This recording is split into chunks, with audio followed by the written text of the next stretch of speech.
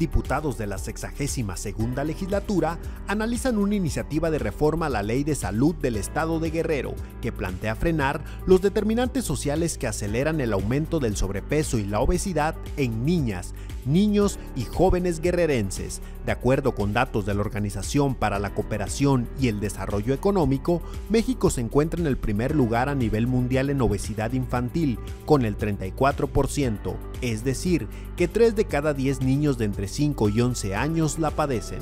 Se propone establecer en la ley que la Secretaría de Salud, en coordinación con la de Educación, deberá prevenir enfermedades entre la población mediante acciones que promuevan una alimentación nutritiva, evitando el consumo de alimentos que perjudiquen la salud y promoviendo la realización de actividades físicas legislando por la salud de las niñas, niños y adolescentes, tu Congreso.